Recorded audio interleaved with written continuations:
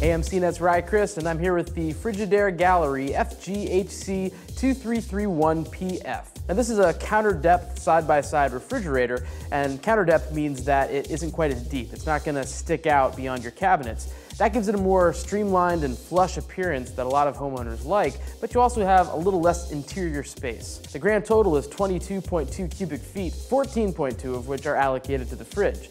That's not great by standard side-by-side -side metrics, but compared to other counter depth models, it's pretty par for the course. Now, what isn't par for the course is the price tag. At $1,600, this fridge is about as inexpensive as counter depth models get, so if you're looking for that flush appearance in your kitchen, this might be where you start your hunt.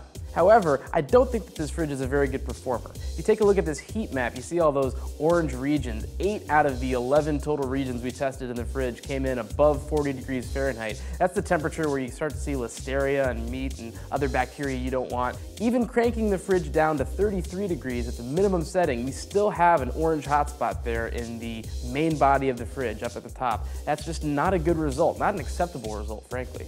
The features of this fridge leave a lot to be desired as well. You see that it's kind of a bare bones interior. You do get this chill drawer here that has a vent in the back with cold air piping directly into it. You can adjust it with that slider and crank it a few degrees up or a few degrees down, but it's not precise, doesn't give you a number, and again, the fridge is so inaccurate to begin with that this doesn't make a whole lot of difference. There's also this shelf here in the middle that slides out to give you easier access to items in the back of the fridge. I like that feature, but there's just too much friction here. It's kind of hard to use. It sticks as you use it, especially if anything heavy is sitting on top.